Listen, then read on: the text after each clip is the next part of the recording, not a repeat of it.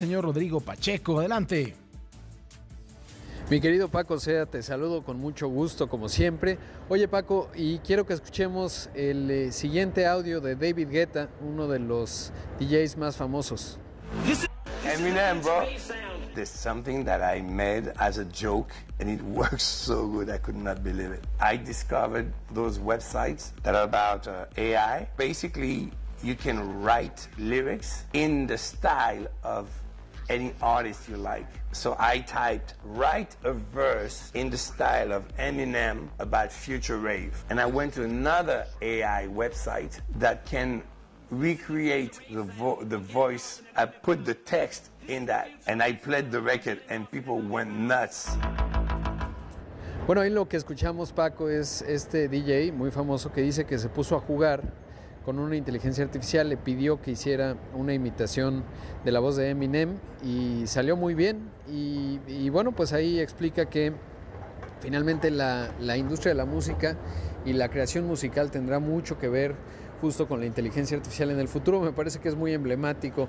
Eh, pues que sí, la verdad es que nos guste o no, genera cierto escepticismo y miedo a veces la inteligencia artificial y estos nuevos sistemas que van apareciendo, pero que finalmente, pues eh, los que mejor estén posicionados eh, para aprovechar estas tecnologías serán los que más prosperen hacia adelante. Así que interesante lo que vemos ahí de uno de los DJs más famosos del planeta.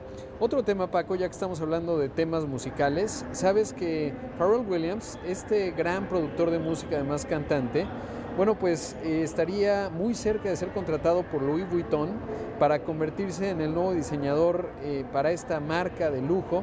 Anteriormente tenían a un personaje muy interesante que se llamaba Virgil Abloh, espero haberlo dicho bien. Tenía 41 años, lamentablemente murió de cáncer y fue la primera vez que Louis Vuitton rompió el paradigma y se convirtió, o bueno, convirtió a un artista afroamericano pues en su principal diseñador y eso la colocó y la, la colocó digamos entre los jóvenes, pero sobre todo la actualizó muchísimo. Así que interesante lo que está haciendo ahora con eh, William Farrell, que sin duda es un tipo muy creativo, no muy exitoso, pues tiene muchos éxitos. Eh, ya no ha publicado tantas canciones recientemente, pero bueno, no deja de ser interesante este asunto, mi querido Paco.